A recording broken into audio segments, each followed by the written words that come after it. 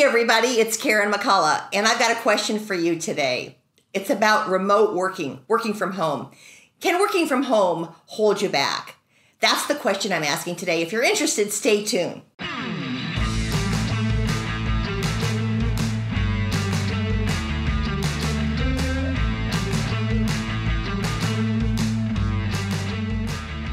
Boy, some of us just can't wait to get back to work. We can't wait for that face to face, that interaction. While others others really want to stay home. They want to work remotely. They enjoy the flexibility of it. They enjoy that they can work anywhere at any time. And they're actually saying that if we go back face to face and it's mandatory, I'm not going back because I like working remotely. And you know what? It's been great to have that option, right? But the question is if you work remotely, can that really be holding you back from success at work? Because studies are showing, yeah, that remote workers have sometimes have a bias towards them. A bias towards people who are working at home and they're not face to face, they're not at work, they're not interacting. So, what is a bias actually? Well, a bias is that there's kind of a negative feeling, a negative connotation. Um, not really that you're working, even though you're probably working harder, there's just this feeling that you're really not connected. Uh, I know this for a fact because one of my clients that I've been working with, I'm a, one of my coaching clients, has been working remotely for her company for for several years, and she's noticed that um, even though they love her work and that she's included in so many things, she didn't get promoted.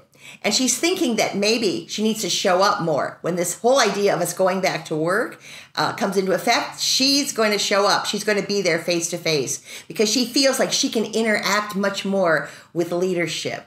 And you know what? She maybe she is onto something. Maybe she's really catching on that remote working actually can hold you back a little bit. Um, if you think about it and you listen to people like Jamie Dimon, who's the CEO of JP Morgan Chase, he wants his people back at work.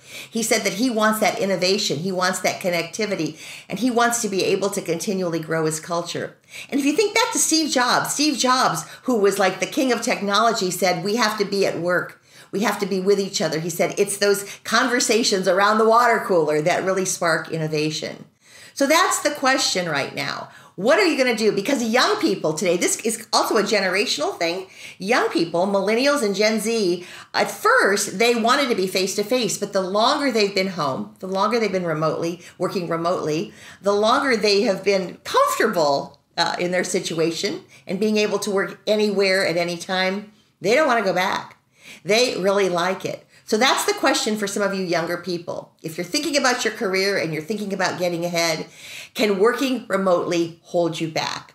I don't have the answers. You know what? All of this is an experiment right now. We're all learning. This is like an on we go process of, ex- of examining and learning what's going on. But what I'd love is to hear from you. So think about it. Put some of your ideas down in the comments and let's get a discussion going. And let's really figure out if working remotely can actually keep you from getting ahead and maybe even leave you behind. Hey guys, it's Karen McCullough. Thank you with another lesson from the road.